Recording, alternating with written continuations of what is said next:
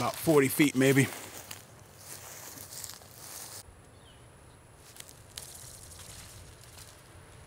Accuracy. Accuracy. Yeah, so this reel is one of my prototype reels, the second prototype. Can't even find the other one, and it, um, and I, I have used it for casting because it's much lighter than the original. But this was before I got the cool beveled edge on it, that beveled lip that goes up and out that aids in the casting. It was before I figured out how to do that with wood. Um, but even with this thing, I can still easily cast 40 feet, sometimes more, depending. Someone asked, does fly line, because I recommend fly line as being easier on my hands, because I talk about it in the book, the Handliner's Handbook, does it cast easier? The answer is yes. Here's why. There's a lot less drag. Now, this reel is not a good casting reel. This prototype is not a good casting reel the reels I make today with the beveled edge on it are totally meant for casting. With the with the beveled edge of the new ones, that line spools off a lot faster. So in other words, it has a lot of the same features that you see in some of the cheap plastic reels, but it's designed to be a reel to last a lifetime. I find an order of casting ability, fly line generally casts the easiest, monofilament casts the second best, and then nylon casts the worst nylon just has a lot of drag. It's just a lot more drag on the reel. It just, you know, monofilament slides off the reel easier and, and then fly line slides the easiest because this stuff is designed to slide through a lot of drag through the eyes of a of the rod. All think about think about a 10 foot 9 foot 10 foot fly rod has what 9 or 10 eyes on it and it has to it has to slide through that very simply and very easily and it's the weight of the line that has to cast out, not the weight of the lure pulling it like with mono. And so it still has to get out, zing out. To me, fly line is just a hand line that's, you know, you're just fly fishing is just hand line fishing with the aid of a rod to help you cast and present easier and fight the fish. My hand lines, you just strip away all that and you're just left with line. And since I had already used sinking fly lines for years before then, I just said, this would be perfect, but I never put it to the test until now. And then I couple that with one of my shock leaders. If you haven't seen that video, check it out. And then down to the leader that you saw me with a paternoster rig and my floats that I always use that you've seen me use on this channel. Backing on this one, I'm pretty sure is just 20 pound test monofilament, but by the time you get down to the backing, it's already too late with this. Unless I'm trolling and drifting all that line out behind the boat, I would rather troll. I would rather have like a 50 pound test backing because it's easier on my hands.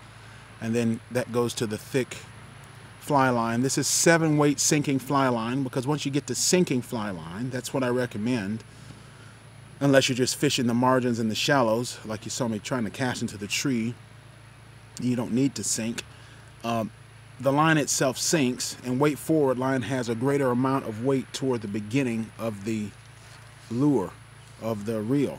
Now the line that I think would be the absolute top of the line, best line ever for a hand line would be the types of Skagit lines and Scandinavian two-handed fly lines that are basically custom constructed with varying weights because they use something like copper weights on the front of their lines with very thick weights on the back and each line is constructed to your tailor to your needs with the leaders and then the weighted portion of the line, then the floating portion, all that. That would be the best, right? Because that line would sink like a rocket, which is what I need. This line doesn't really sink all that fast, which is the thing I don't like about it. It it it catches a lot of wind. It catches a lot of um, it cuts through the wind fine, but it catches a lot of water, and it takes more weight at the end of it to sink it down to the bottom the way I want. As far as sinking down to the bottom with trolling, uh, lead core line I find is really the best, and I think, but I just don't like lead. You know, copper line would be good, but I don't want to get, I don't want that copper line to, copper line can kink and stuff. You know, so I think the best solution would be Scandinavian or Skagit fly line, especially the heavy sinking tip types of fly lines that will just get down to the bottom of the river and sink like a rock. Just a cheap Chinese made seven weight, eight weight, nine weight sinking fly line, whatever they have. You can get them like, you know, don't pay more than 20 bucks a piece for a line. Buy a couple, rig them up, and especially if you're fishing from the bank with a hand line, you can get it out there a good long ways. It'll spin off the reel easily, and it'll get you out there, and you can still fish off the bottom. And it's just easier on your hands, right? That's the main thing about handline fishing someone on the Texas Catfish Forum was asking about using 30 pound test braid on jug lines. And oh gosh, you're just asking to have your hand slit open. 30 pound test braid, that stuff is, it's like putting a butter knife through bologna. You'll just cut, I've cut myself on 20 pound test mono fairly easily. Now I've got pretty tough hands here because all the years of working in the restaurant, you, your hands are always getting burned and scorched and cut and stuff. As I just have thick hide built up, and so I can I can fish with 20 pound test line. But the reality is, to protect your hands, you need well, thick line protects hands, and saltwater who guys overseas in the Middle East and stuff fishing hand lines in the saltwater, they're using like two and three hundred pound test line monofilament in the deep open ocean. So um, who are we to think we're going to be fishing with 20 pound, 30 pound test line and not hurt our hands? And those guys still have get their hands hurt. Uh, fly fishermen fish with their hands. They're just they set the hook with their hands. They they retrieve with their hands. It's a hand line fishing method. You're just using the rod to get a nice delicate cast in presentation, but the rest of it is just hand line. And so I would definitely recommend fly line, and fly lines are so cheap today. It's this, you know, from China. I just buy them from AliExpress, or you can get them from get the cheap ones from eBay. Just get full sinking fly line. But the good thing is it will follow the trail of the boat perfectly like a snake.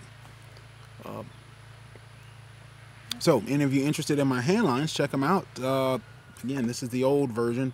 The new version has the nice cool lips on them and the, the reels you get are actually better than the reel that I fish with because it's just yeah, I just don't ever have time to make my own improved version for myself. You guys get the better ones. it's just how it works when you're working a fishing tackle shop. Um,